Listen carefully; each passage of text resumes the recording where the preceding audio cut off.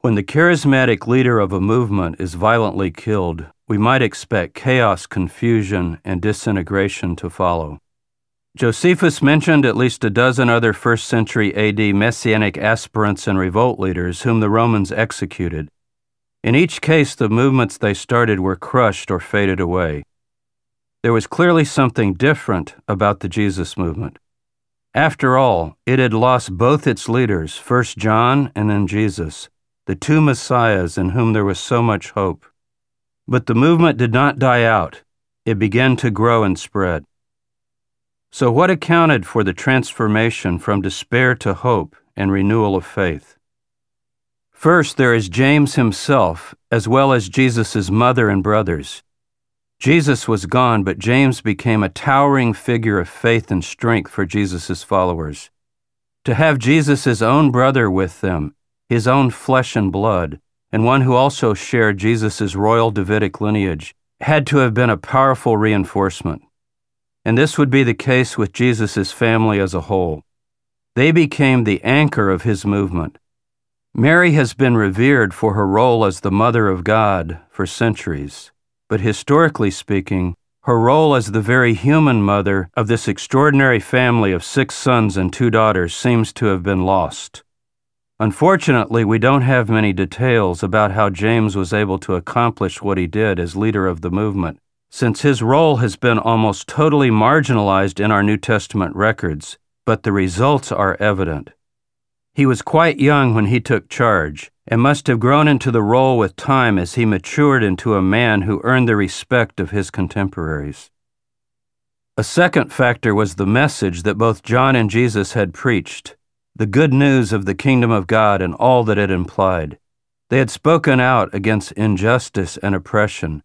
They had issued a call for repentance and proclaimed forgiveness of sins, and they embodied the messianic hope and faith rooted in the Hebrew prophets. Finally, both Jesus and John had proclaimed that the end of the age had drawn near. The apocalyptic perspective that they embodied was reinforced by the social and political events of their time. The main body of Jesus' core followers, including those who had been with the Messianic movement from the time John the Baptizer had begun his work, gathered in Jerusalem in the late spring as summer neared.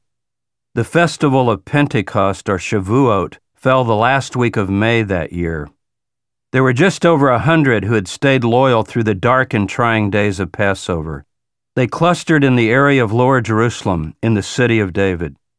The guest house with the upper room where Jesus ate his last meal became their center of operations.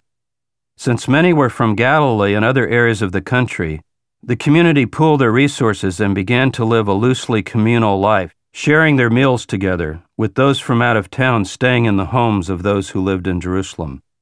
There must have been a sense of danger, but also one of excited expectation since surely God would not allow the death of his righteous ones, John and Jesus, to go unpunished. Shortly before the day of Pentecost, the group gathered to deliberate their situation. They needed a new leader and had to replace Judas Iscariot on the Council of Twelve. He had committed suicide. What happened next is one of the greatest untold stories of the past two millennia. The tradition most people remember is that the Apostle Peter took over leadership of the movement as head of the Twelve. Not long afterward, the Apostle Paul, newly converted to the Christian faith from Judaism, joined Peter's side. Together, the apostles Peter and Paul became the twin pillars of the emerging Christian faith, preaching the gospel to the entire Roman world and dying gloriously as martyrs in Rome, the new divinely appointed headquarters of the church. Peter's primacy as the first pope has even become the cornerstone of Roman Catholic dogmatic teaching. We now know that things did not happen this way. It was James, the brother of Jesus, who became the successor to Jesus and the undisputed leader of the Christian movement. James was next in the royal Davidic bloodline. The Jesus dynasty would continue for over a century after Jesus' death. But how could James, the heir to the Jesus dynasty, have been almost entirely left out of the story of Christian origins? And more important, why? James hardly appears in Christian art and iconography. We must begin our search for James by looking at our New Testament sources, for it is from here that his memory was largely erased. We only have one substantial account of the history of the early Christian movement following the death of Jesus, the New Testament book we know as Acts of the Apostles. The same author who wrote the Gospel of Luke wrote Acts as a second volume to his literary work. The book of Acts is largely responsible for the standard portrait of early Christianity in which Peter and Paul assume such a dominant role and James is largely left out. Luke's major agenda in the book is to promote the centrality of the mission and message of the Apostle Paul. Acts of the Apostles might better be named The Mission and Career of Paul. But Luke has unwittingly left clues in the book of Acts that allow us to verify that James, not Peter, became the legitimate successor of Jesus and leader of the movement. Luke, more than any of the other Gospels, marginalizes the family of Jesus. Luke is the Gospel that deliberately avoided even mentioning the brothers of Jesus. Even at the cross, when Mark plainly said that Mary, the mother of James and Joseph, as well as Jesus' sister Salome were present. Luke changed this to read, the women who had followed him from Galilee. At the burial scene, he did the same. I think Luke did this to avoid raising questions about Peter's leadership of the twelve or the superiority of Paul's mission to the Gentiles. But why? Luke was the only non Jewish writer in the entire New Testament. He emphasizes the Gentile version of Christianity that Paul espoused. He cannot deny that Jesus was a Jew, or that all of Jesus' original followers were Jewish, or that the early Christian movement as a whole was an apocalyptic movement within Judaism. But he wrote at a time, two decades after the Jewish Roman revolt, when those Jewish origins of the movement were becoming marginalized and de emphasized, and the imminent apocalyptic hope had faded. Luke was also pro Roman. Paul, his hero, was a Roman citizen, and he wants his Gentile Roman readers to know and value that about him and look with favor on the growing Gentile Christian movement. In his account of the trial of Jesus, Luke goes beyond Mark, his primary source, to emphasize that Pontius Pilate was a reasonable and just ruler who went to extraordinary lengths to get Jesus released. Luke removed the agonizing final cry of Jesus, My God, my God, why have you forsaken me? and instead had Jesus pray for the Roman soldiers carrying out his crucifixion Father, forgive them, they know not what they do. Luke was not writing history, he was writing theology.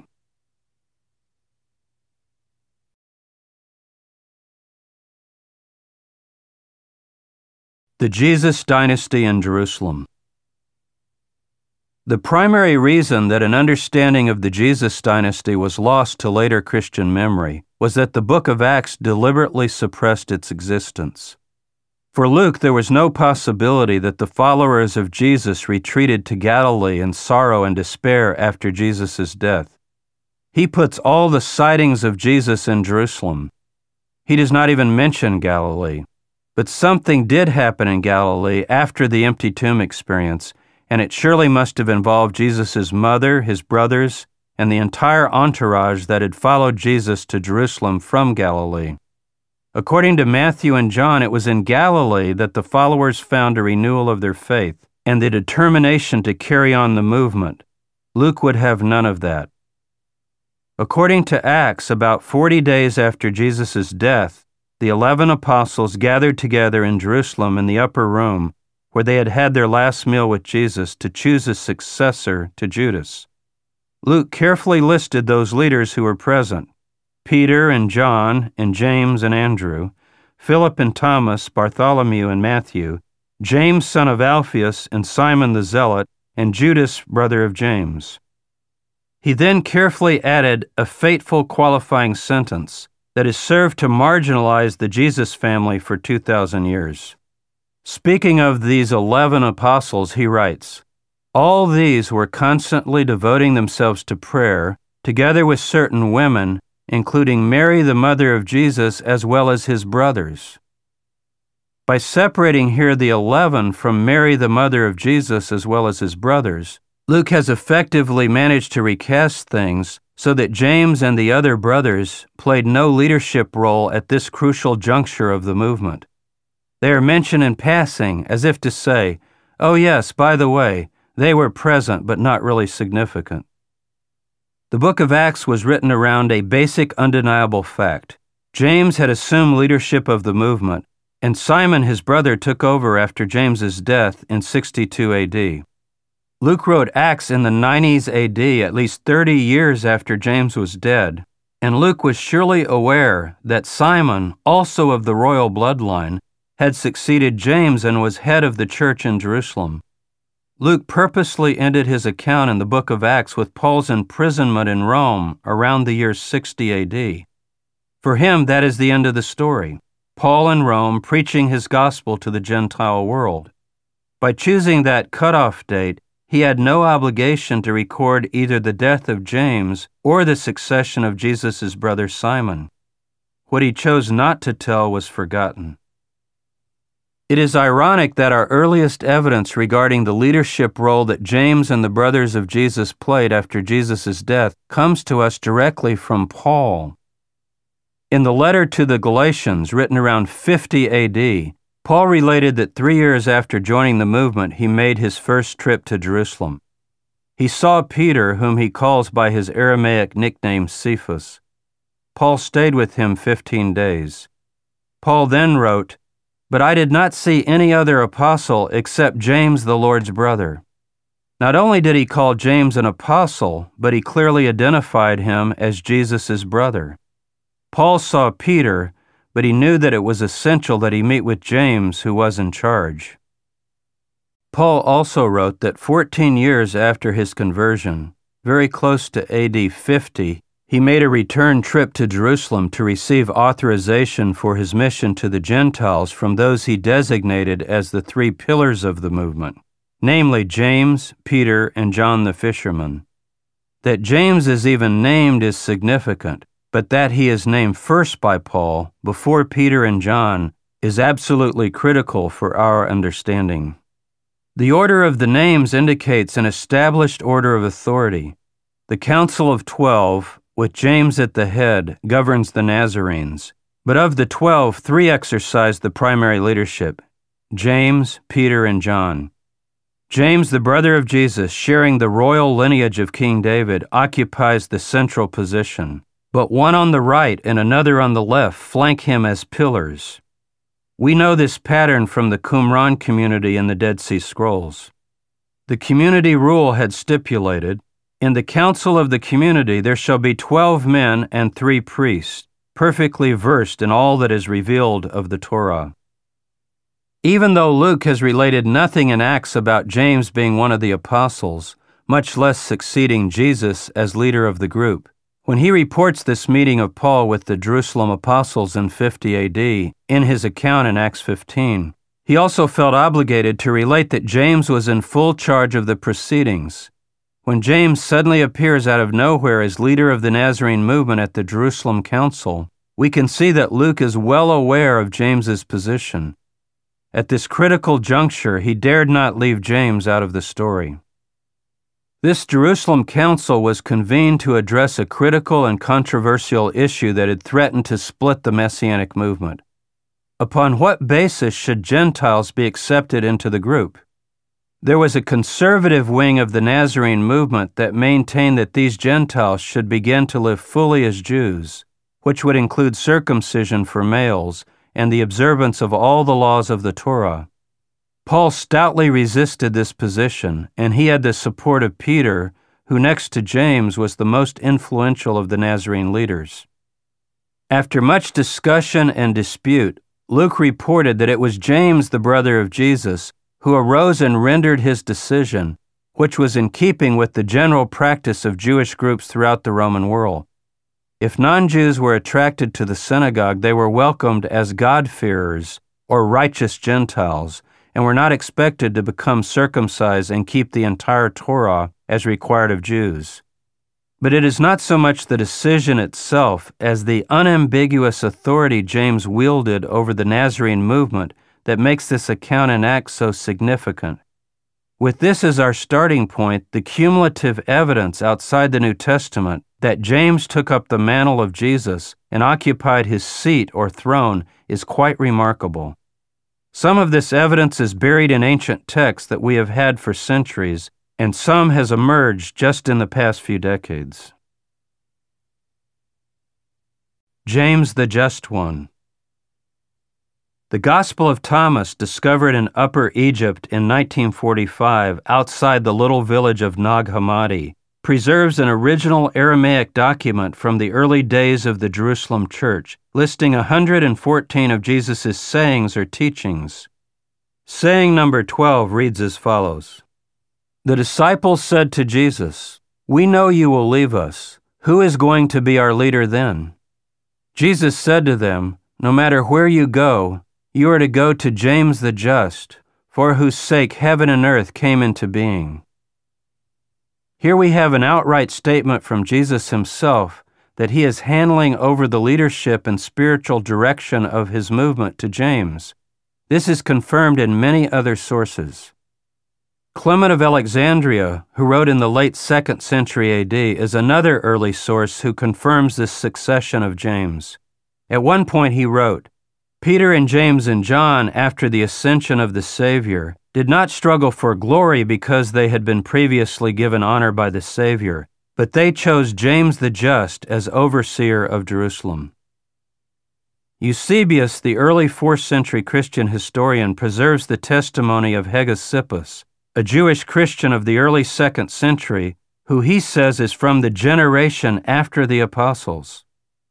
The succession of the church passed to James, the brother of the Lord, together with the apostles. We also have a recently discovered Syriac source, the Ascents of James, that records events in Jerusalem seven years following the death of Jesus when James is clearly at the helm. In this source, we read The church in Jerusalem that was established by our Lord was increasing in numbers, being ruled uprightly and firmly by James, who was made overseer over it by our Lord. What is impressive about these and other sources is the way in which they speak with a single voice, yet come from various authors and time periods. Before we investigate the type of Christianity that James the Just inherited from his brother Jesus and passed on, and what the existence of this Jesus dynasty reveals to us about the hidden and forgotten cause for which Jesus lived and died, we need to look at Paul, his dominant influence in the New Testament offers the greatest challenge to any attempt to recover the legacy of the Jesus dynasty.